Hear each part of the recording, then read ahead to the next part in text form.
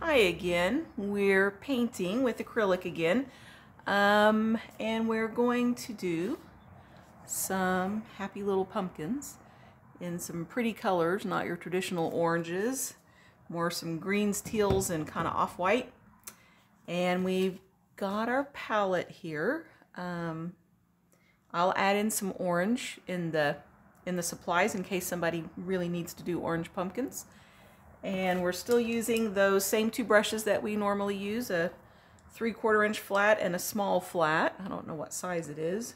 Um, it probably tells me, but that's okay. It's small.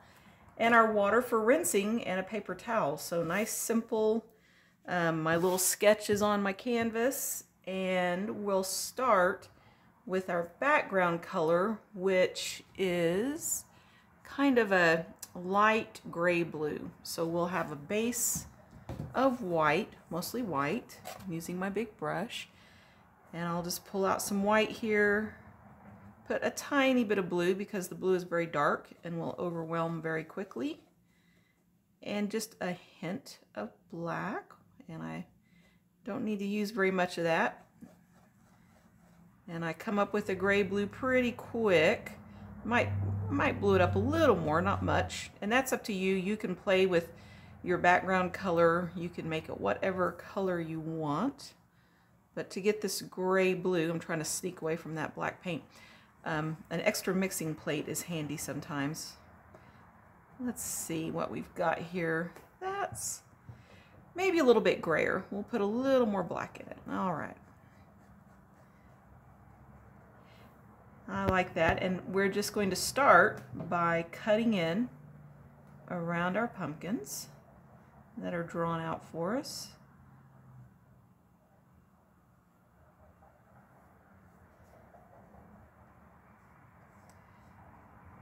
And I don't know if I've mentioned this, but um, it is nice to paint the edges if you're going to hang it up without a frame. It just looks more finished that way. So I'll go ahead and paint some edges.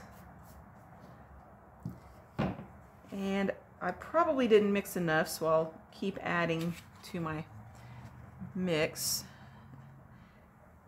so I don't run out.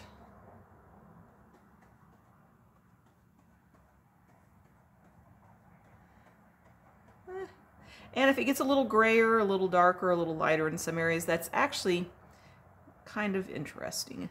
Since we're not painting a wall, we don't need it to be just one flat solid color.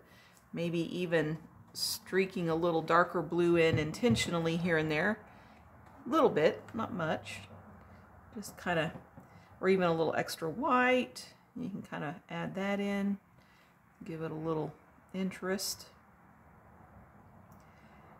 And as I come in between these pumpkins, I won't worry too much if I paint over the stem of my leaf. That's okay. I'll find it later when we're painting the leaf. Just kind of cut in around those marks. If you want to use your smaller brush to do this, you can. Um, as a general rule, you know, use the biggest brush you can to get the job done. And if I end up making my stem a little bit thinner than I want it to be, I can always bulk it back up when I get to those gray-brown colors. So no big deal. And as I come down, I'll kind of throw a little paint on the edge there. Um, knowing that there's a lot of this kind of dead grass or whatever, straw around the base of the pumpkins, I'm not going to worry too much about filling all that in because that's going to be a different color. So I can kind of leave it like that. And that'll be fine. So that's just a very quick, kind of get some background in there. And now we'll think about pumpkins. So I'll rinse my brush out. Maybe grab this edge real fast. Or slow. We don't have to be fast. We can take our time.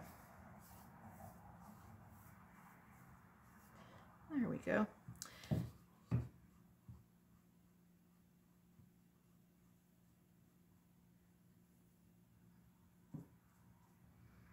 All right, so I'll rinse my brush out and I think I'll start with this green pumpkin in the background. He's a fun color. So I have green on my plate. It's kind of a blue green and it's really dark.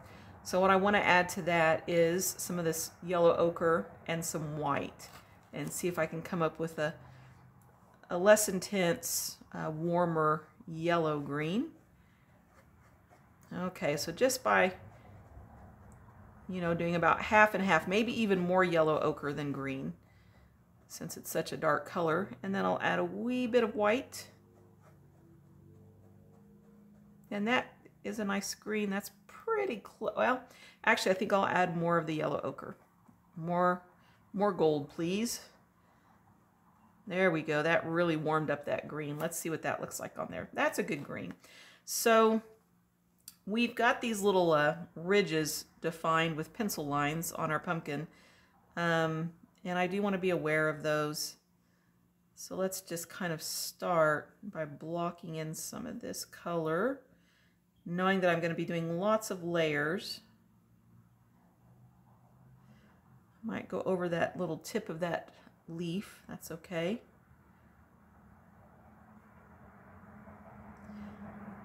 Just kind of cutting in and filling in right now.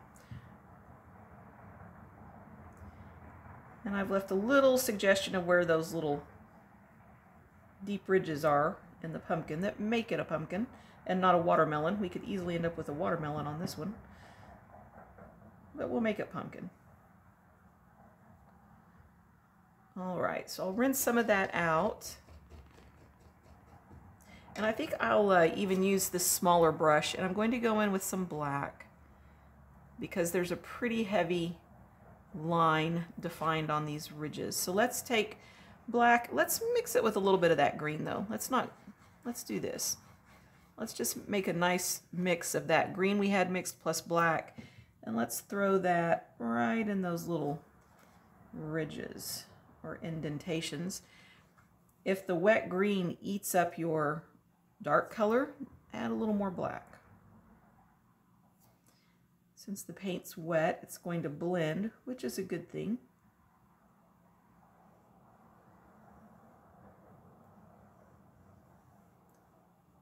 And while I've got this small brush, I'll come back inside these little spaces that are between the stem kind of get those painted in. Little more black. And I know I do have to come down, you know, right to this other pumpkin. I can't leave white space. Um, and because we want some shadow at the base of this pumpkin, which if the green's too wet, it may not work very well. I'll use some of that dark black green.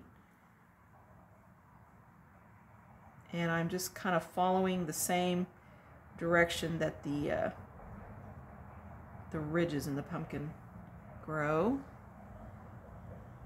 Let's kind of define that little edge there, right in front of, or right on top of that front pumpkin. What we'll do is we'll get one coat down as a base.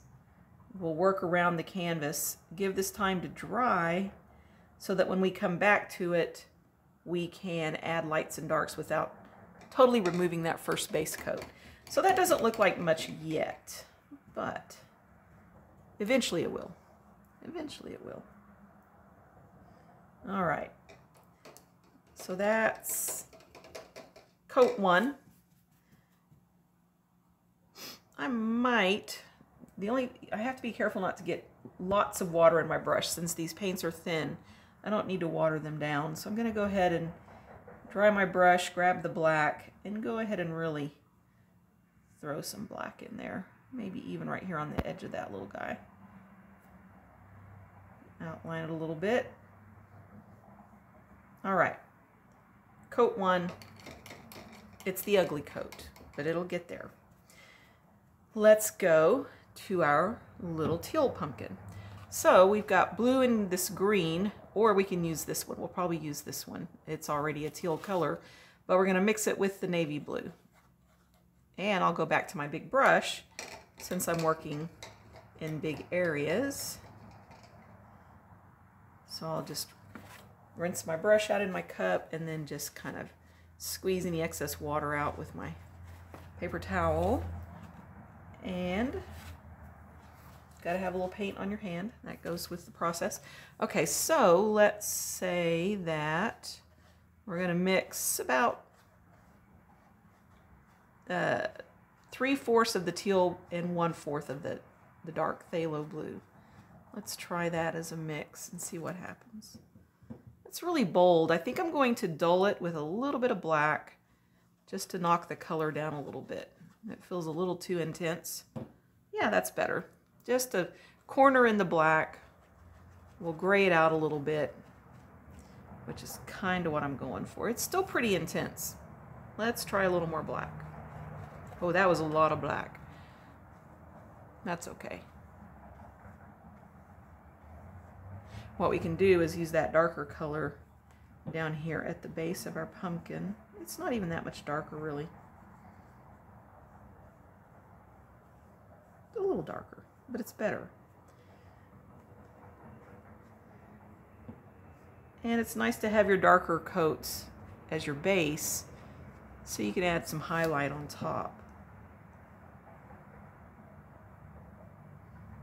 Okay, so I'm just Again, thinking about not completely losing those little ridges. I could just paint my own in, um, but if you're worried about losing those shapes and not knowing which which direction they go and how to space them out, it's it's not that big a deal to just kind of paint right up to them and leave a little space.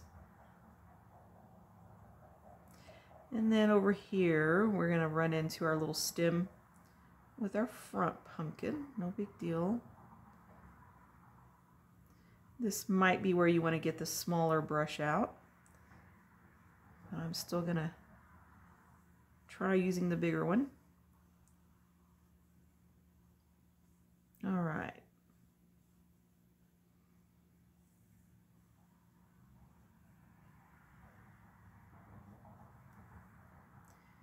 And then I'll take my smaller brush, it out, and go back to those black defined ridges, pure black. It's going to mix with that ret, ret, wet teal, not ret, wet teal, which is nice to kind of blend that together. There should be one about right there and then one about right there. And while I've got black on my brush, I may just drag a little bit of it through right down here because I want the base of the pumpkin to look like it's in shadow. So I want to see a noticeably darker paint. Still early stages though. Rinse that out and go back to my pumpkin color if I have any left and just sneak some of that in there around that little stem with the smaller brush.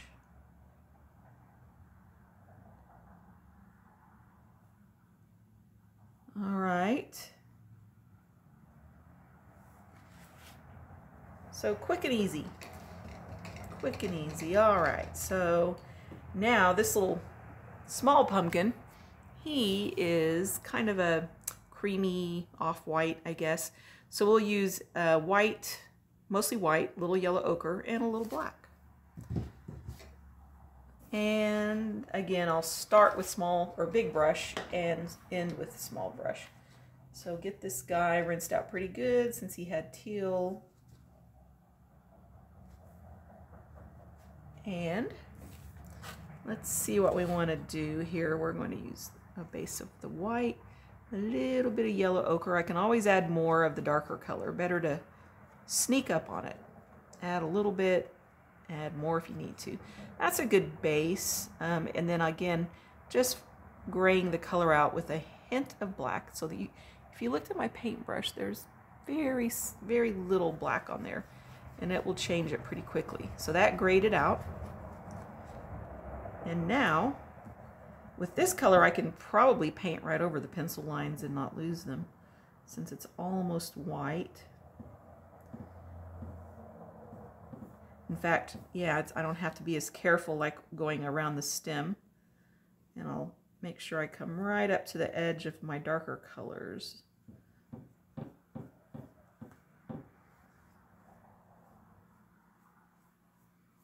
And that doesn't have much texture or interest yet, but we'll, we'll get there. We may throw a little bit of yellow ochre. Just pick a little bit up, mix it into that, and then go back in and add a little, yeah, extra color there. Then I'll go to my small brush and my black. And I may even add a little bit of yellow ochre to that black just to keep it from being too, although the original painting, they're pretty dark. So we're just going to put those in.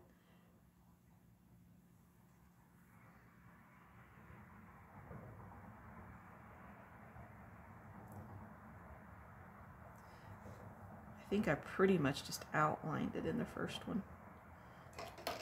Everything was outlined. So with that in mind, let's take the black and go ahead on all the pumpkin stems and just outline those little guys.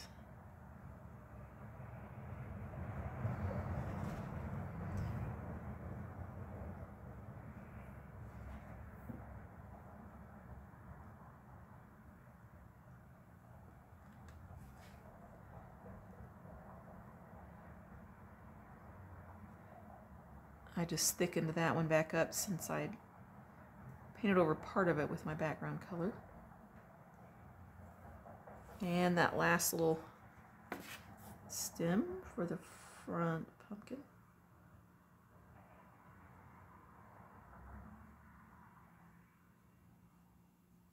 All right. And this is still, this is the first one we started with. It's still not really dry. So we'll work on stems for a minute. Um, and if we look at this, you can see that there's a shadow side and a light side.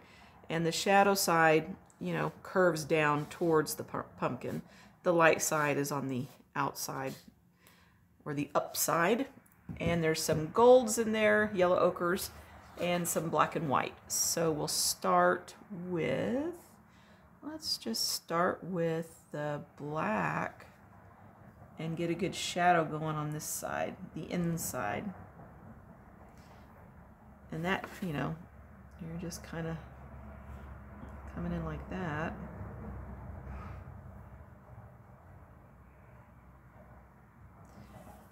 And then I'll start mixing up a gray, so some white, some black, which there was already black in my brush, so that worked out great. Maybe a little more black. Don't want it to be too light. And then to warm it, I'll put a little bit of that yellow ochre in there. Okay, so that can be kind of a nice base for a stem.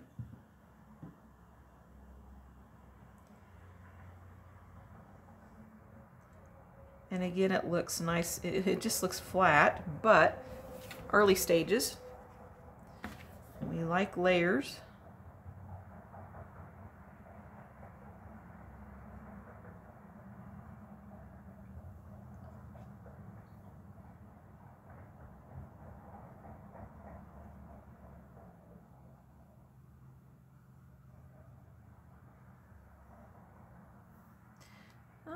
So it's starting, starting, not even close to finish, but starting to take shape. Um, if I wanted to add just a little bit of yellow ochre, so I dried out my brush, washed it, dried it out, go into the yellow ochre, and then just pull that through that wet gray, it's going to blend back in. You'll lose a lot of it into the gray, but that's good. It's more subtle that way. So we're just going to pull that through the wet paint. It'll blend it back. You do have to have a little bit of paint on your brush though, or it won't show up at all. All right, so there's a little warmth. And then we may be able to wash brush, dry, and go to plain white and see if we can get a little highlight on the outside, which is definitely going to keep blending because the paint's wet.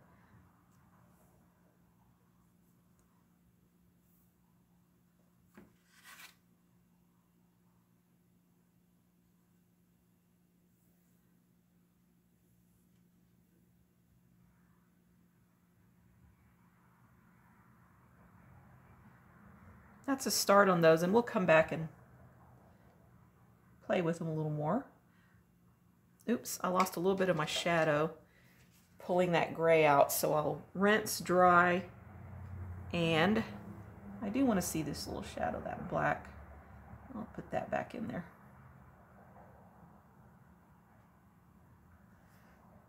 Maybe define that a little better again.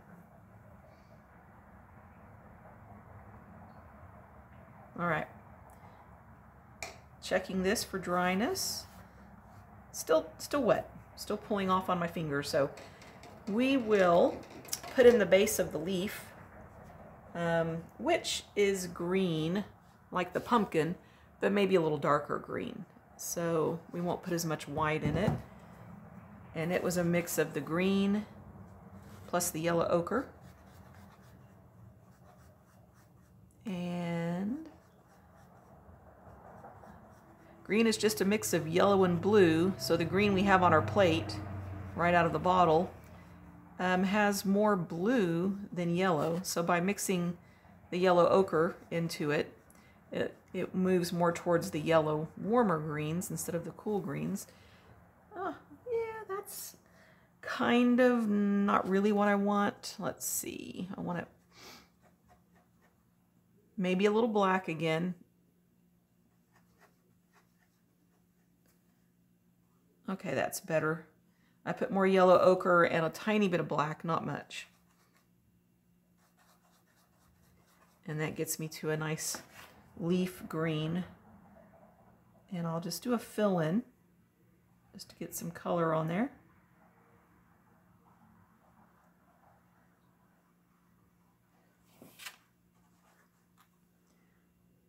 Oops, I picked up some plain blue-green there. It's okay.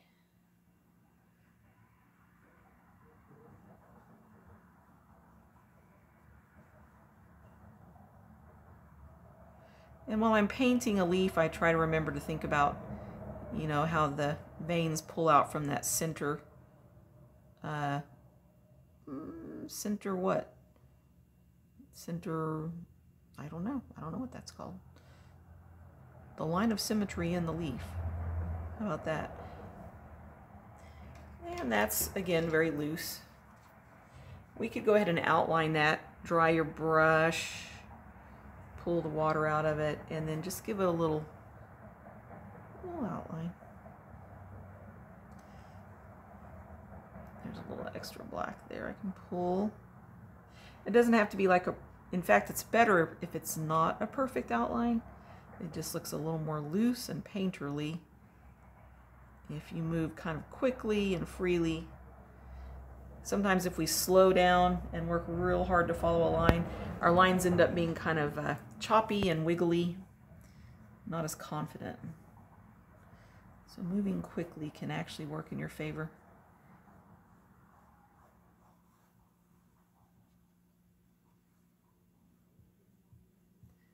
And if I make a mistake, I know I can always paint it out. It's only paint.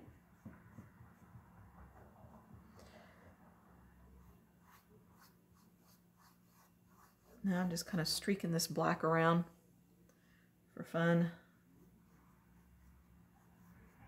All right. Um, we won't do the, we'll save the straw down here at the base as the last thing because it sits on top of the pumpkins. So that'll be the only place we don't get a base. We'll do it last. So now then I feel like, are you dry enough? If you have a blow dryer, that's a really handy little tool um, because you can, yeah, hurry the process. You don't have to wait and watch paint dry, which is not very exciting. Okay, so we are going to try to do a little more shadow at the base of the green pumpkin with our big brush, and then we'll add some highlight in the top part. So we'll start back with our green that we had, which was yellow, or yellow ochre, gold. It looks like gold, but it's called yellow ochre. And the green and a little black because we want this to be a shadow color. So that's pretty good. That's a very dark gray green. Let's see what that does on here. Eh, maybe a little more black. And I'm starting at the base of the pumpkin and pulling up. And if you just kind of let your wrist flick off the canvas as you pull up, it will give you these nice little soft transitions. Boop, just like that. And I kind of want to, you know, have a nice dark edge against the light edge of this front pumpkin. So I'll try to get my shadow to pull into there. Now that's that's a good deep shadow, so I'll leave that. Rinse out that dark. And think about how to create some highlight. So in this, if you'll look, um, we've got some lighter greens, we've got some golds, and we've got even white as the last layer for the lightest light. So we'll start with the lighter greens and the golds, and that means that we need yellow plus white in our green. We should be able to use the green that was already mixed up for the pumpkin and just warm it with yellow and lighten it with white. Let's see what happens. Looks kind of gray, so maybe we want a little more green in it. If it's too gray, that means there's too much black and white in it, right? Because that's what makes gray. And so adding more of the other two colors, the yellow and the green, will get rid of some of that gray. And I'll pull that slightly down into the shadow color so that it doesn't just stop um, abruptly. You don't want to see a line that way. You want to see a transition. So this back and forth like that, you'll get more of a transition. And then I'll even go some just plain yellow. And I didn't rinse my brush first, so that plain yellow quickly picks up some green. But I just want to lightly throw some of that in there. Barely touching the brush to the canvas. This is a very, I call it, you know, whisper. Whisper the brush across the canvas. And you'll get some really pretty light touches. So now we got a little gold in our green.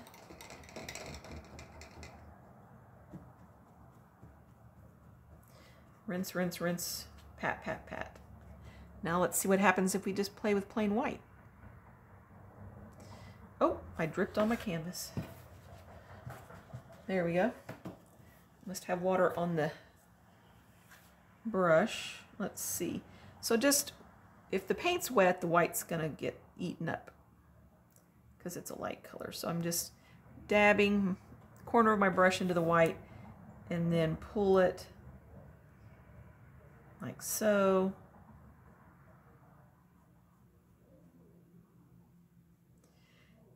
And I can play with this. I don't, I mean, part of the fun is just seeing what you can get the paint to do. Pumpkins have ridges. Is it looking pretty pumpkiny? We could go back to our uh, smaller brush and go back to the black and really exaggerate those shadows in the ridges.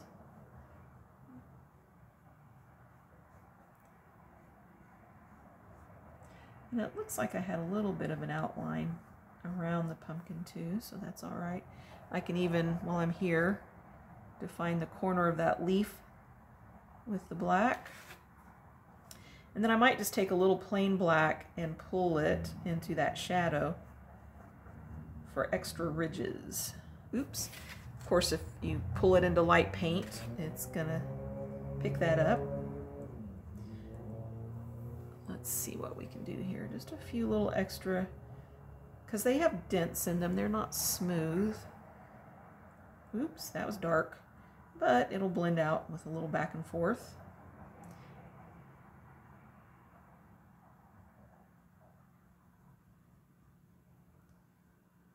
All right, and see if I can just pull them all the way up.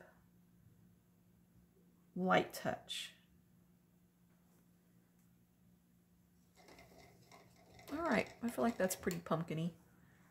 Let's move on. I can see a lot of wet paint sitting there. I'm gonna smooth that out.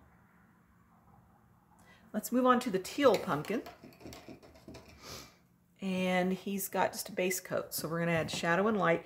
We add a little bit of shadow down here and it's nice and dry. Well, almost nice and dry.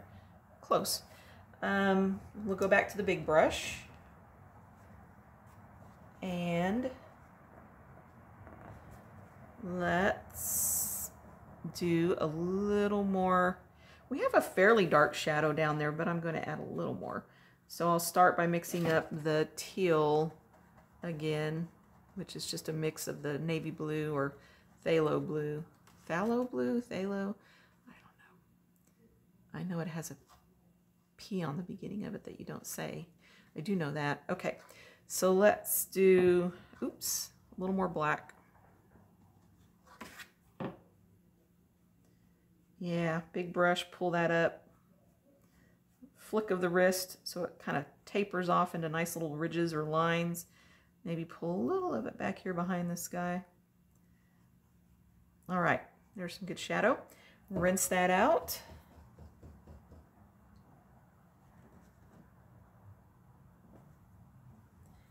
And we want to do the same thing we did with the green one. So to lighten it for highlight, we can use the teal um, and add white. And then as the last touch, add plain white. So our teal is just the teal out of the bottle plus a little bit of this blue plus a little white. And if we need to, we'll gray it a little if we think it's too intense. Uh, let's see when I put that down on the canvas, how do I feel about that? It feels a little like I want the gray in it. So that's where a little tiny bit of black will just dull it.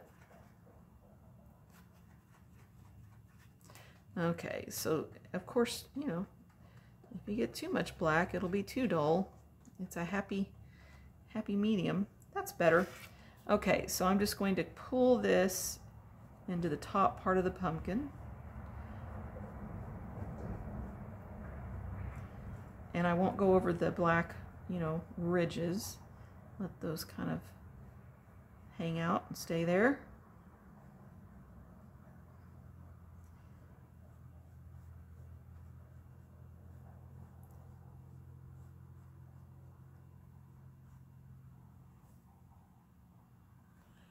All right, so it's starting to get that little 3D look, you know, light to dark. If you have three values, I think I've said that before, at least three values, right? That's the, that's the minimum. Your base color, your shadow color, and a highlight color.